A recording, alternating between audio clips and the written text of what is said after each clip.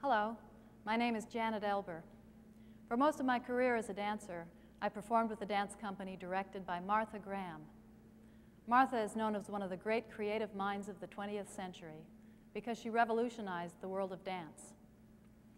Early in her career as a dancer in the 1920s and 30s, Martha was a pioneer of a new art form called modern dance. Modern dance evolved out of a revolt against traditional ballet. Ballet often presented dances which were escapes into other worlds with beautiful dancing animals or flowers or mythical people. Modern dance was, and still is, concerned with presenting real human issues and finding a way to communicate about life as we experience it. As part of this revolt, Martha was determined to find a way of moving that described our own individual thoughts or emotions. She often said her dances charted a graph of the heart and she created a new way of moving that had never been seen before. In the dances that follow, you'll see how Martha took emotion and transformed it into physical expression. In 1930, Martha created a dance called Lamentation. Throughout this short work, the dancer is seated on a bench and shrouded in fabric. This costume, which is stretched and pulled by the dancer, was well ahead of its time, and it accentuates the conflict and the emotion of the dance. A lamentation is an expression of overwhelming grief. The figure in this piece is struggling with intense sadness, but you should look for many other emotions and ideas in this dance. There are anger and denial, even confusion. The figure searches for comfort or understanding, and there are moments of intense stillness or control that explode into great silent cries. Martha based the movement in Lamentation on recognizable everyday gestures. In fact, the ballet starts with the dancer shaking her head as if to say no. This rocking gesture becomes much bigger. The dancer throws her body from side to side as if she doesn't know which way to turn. She lifts her hand and tries to stop the whole idea or reaches out for some kind of help. She tries to control herself and stop the pain. But this only breaks into another great sob, or cry.